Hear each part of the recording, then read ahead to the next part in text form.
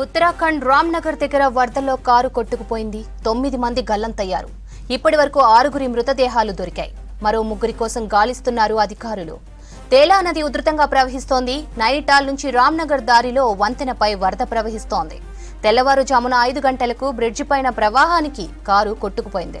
స్పాట్లో సహాయక చర్యలు చేపట్టారు అధికారులు. బాలికను కాపాడారు. మృతులందరూ పంజాబ్కు చెందిన వారిగా గుర్తించారు అధికారులు.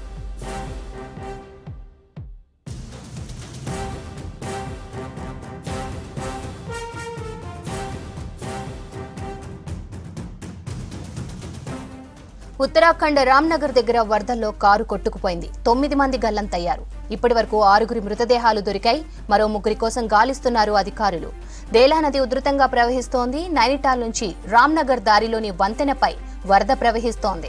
తెల్లవారుజామున ఐదు గంటలకు బ్రిడ్జి పైన ప్రవాహానికి కారు కొట్టుకుపోయింది. స్పాట్లో సహాయక చర్యలు చేపట్టిన అధికారులు బాలికను కాపాడారు. మృతులందరూ పంజాబ్కు చెందిన వారిగా గుర్తించారు.